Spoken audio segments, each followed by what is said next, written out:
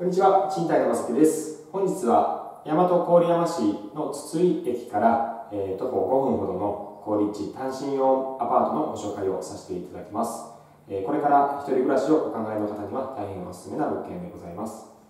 それではまず洋室の方からご紹介させていただきますと、なんかこちらの方はですね、7畳近くはあるでしょうか、広々としたお部屋の、えースペースとなっております。ベッドを置いていただいてもですね、えーゆったりと過ごしていただけるスペースが確保できるような部屋となっております。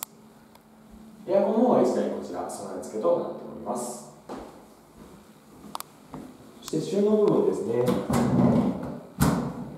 い、こちらの方で、えーお一人様でしたら十分収納していただけるスペースになっております。そしてこちらのキッチンの方は、えーかなり広々としております。お料理好きの方ですね、大変喜んでいただけるキッチンになっておりまして、えシンクの方ですね、こちらシングルレバーになっております。調理スペースももちろんございますし、コンロの方は2口備え付けとなっております。えシステムキッチンということですね。え上の方に行くとですね、下の方にも十分収納スペースがございますので、えーお一人様でしたら十分なぐらいの、えーキッチンとなっており